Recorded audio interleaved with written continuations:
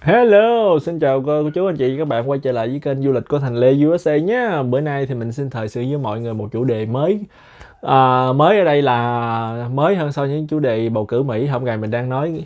Nhưng mà thật ra chủ đề này diễn ra cả tháng về trước rồi đó là chủ đề về em, chú MC Nguyễn Ngọc Ngạn đó. Kể như như mình đã nói lúc trước là mình đã tạm ngưng nói về chú MC Nguyễn Ngọc Ngạn tại vì không có thông tin gì mới về chú hết. Với lại uh, chú cũng đã đính chính rồi mà thành ra mình lúc đó mình cảm thấy là cũng không có cái lý do gì để mà nói về chú hoài hết. Nhưng mà bữa nay mình phát hiện ra một cái tin có thể gọi là cũng khá thú vị về à, chú ngạn. Đó là cái show uh, kỷ niệm 75 năm uh, cuộc đời của chú ngạn nó vẫn còn được tiếp diễn. Thành ra là mình muốn chia sẻ với mọi người. Đó kể như là chắc chắn cái video này mình sẽ bị ném gạch đá bởi những anti-fan là câu view rồi này nọ. Nhưng mà cái đó không quan trọng tại vì dĩ nhiên làm youtube là phải câu view rồi đó.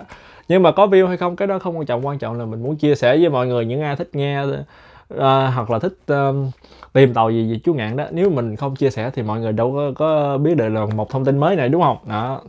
Thành ra là mình muốn chia sẻ với mọi người đây. Đây là cái poster mới nhất về cái show của chú ngạn đi cái uh, kể như là cái live show 75 năm cuộc đời của chú ngạn uh, theo dự kiến ban đầu á, là nó sẽ diễn ra vào tháng 3 tức là tháng sau vào ngày 21 tháng 3 ở tại San Jose Bắc Cali nhưng mà sau đó là nó bị ờ, quỷ vì ờ, cái làn sóng ờ, chống chú ngạn của cộng đồng người hải ngoại này và bây giờ á, thì cái show này nó được chuyển về bên phía Canada tức là quê hương chú ngạn và theo cái poster này ghi á, thì cái show này sẽ được diễn diễn ra vào tháng 6 ở tại uh, Vancouver tức là ở bên uh, British Columbia tức là cái tỉnh uh, British Columbia ở bên bờ Thái Bình Dương ơi lộn yeah bên bờ Thái Bình Dương của Canada hay chính xác là phía tây Canada một trong những thành phố lớn nhất Canada. Nơi mà cũng có khá đông cộng đồng người Việt Nam đó. Nó quay trở lại chủ đề. Kỹ như là nghe cái dự tính ban đầu là cái show ờ, kỷ niệm cuộc đời của chú ngạn sẽ được diễn ra vào ở San Jose ở Bắc Cali. À, nhằm nhằm uh, nhân dịp kia kỷ niệm 75 năm uh, sinh nhật của chú ngạn tại vì năm nay chú ngạn 70 tuổi. Không?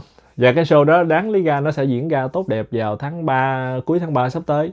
Nhưng mà như mọi người cũng đã biết rồi vào ngày 27 tháng 12 năm ngoái thì trong một lần à, du à, lưu diễn ở bên châu Âu chính xác là lúc đó đang ở bên uh, Berlin bên Đức.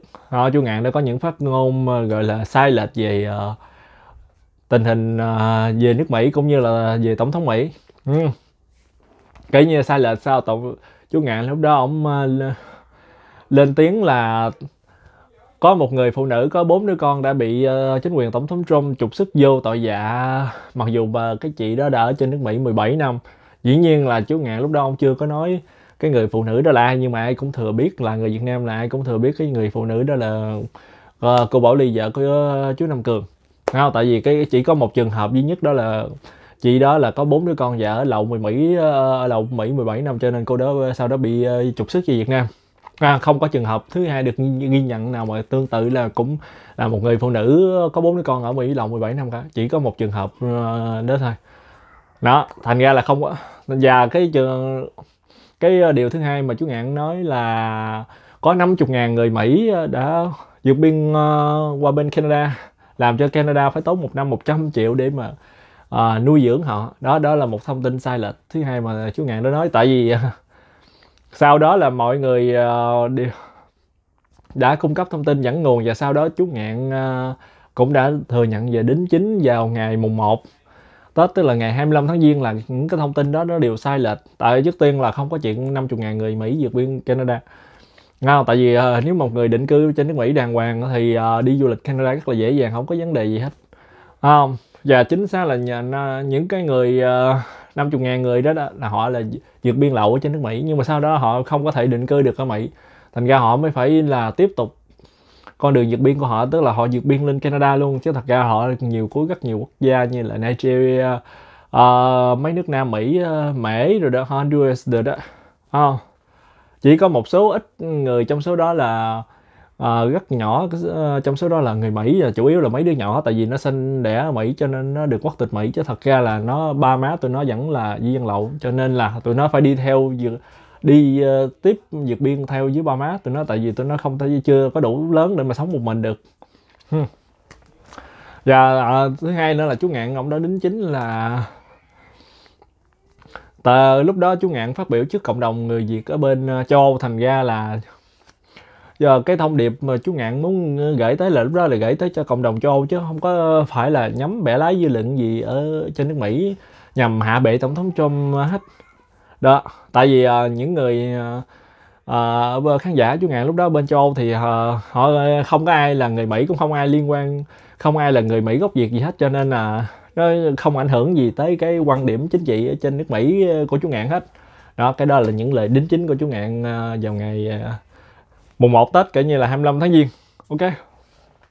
Nó và sau đó dĩ nhiên là như mọi người theo dõi tình hình lúc đó thì ờ, dĩ nhiên chú Ngạn cũng đã dấp một sự gọi là phản kháng quyết liệt. Tại dứt hơn là người ta không đồng tình với những cái uh, bài đính chính của chú Ngạn cũng như là cái uh, lý luận chú Ngạn là vô tình uh, cái thông tin uh, vô tình đọc sai thông tin. Ờ, cũng như là nói trước uh, cộng đồng châu Âu chứ không phải là nhắm về uh, cộng đồng bên Mỹ. Tại vì uh, thời buổi giờ internet thì chỉ cần một lời nói bất cứ nơi nào trên thế giới thì nó cũng sẽ được lan truyền ra thế giới.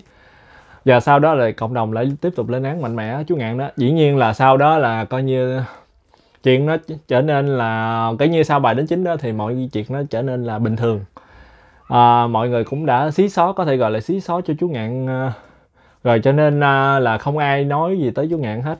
Không có bất cứ thông tin nào đăng mới gì chú ngạn hết. Dĩ nhiên là sau đó là cái à, trang youtube của chú ngạn đó à, ông cũng à, uh, rút cái bài uh, đính chính nó xuống. Và mọi người uh, cũng uh, bắt đầu quan tâm tới những chuyện thời sự uh, khác ở trên uh, nước Mỹ này.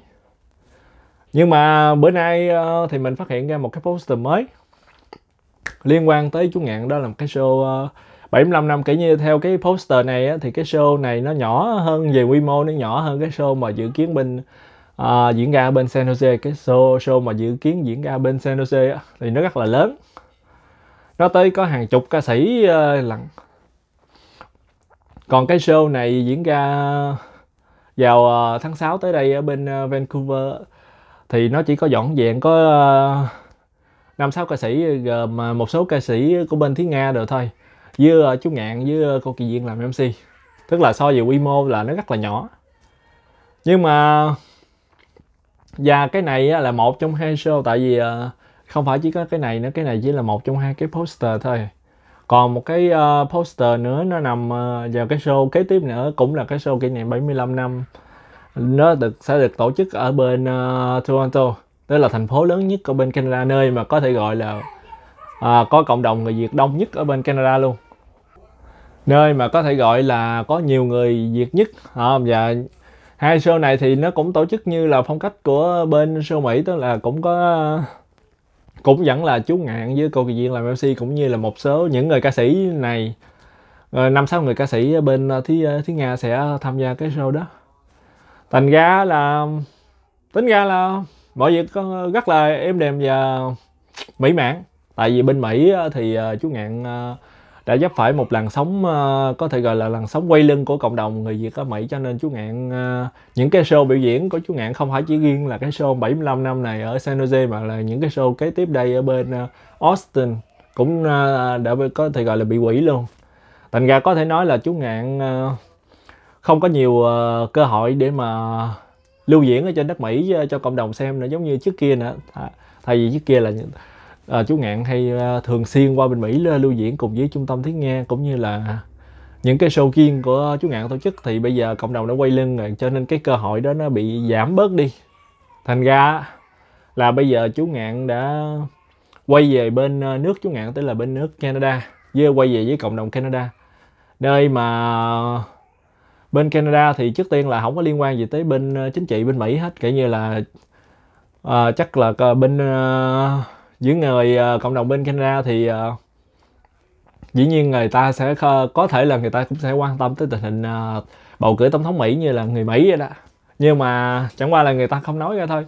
Với lại là bây giờ thì chuyện nó cũng đã cái chuyện mà chú ngạn đã đính chính thì coi, coi như cũng đã ok ai cũng đã chấp nhận rồi kiểu như mình cũng vui vẻ chấp nhận ha. Tại vì chú ngạn uh, đã quay về nước của chú ngạn làm ăn ha và chú ngạn cũng đã đính chính rồi thì uh, nói chung là mình xin chúc mừng chú ngạn. Đó tại vì mình uh,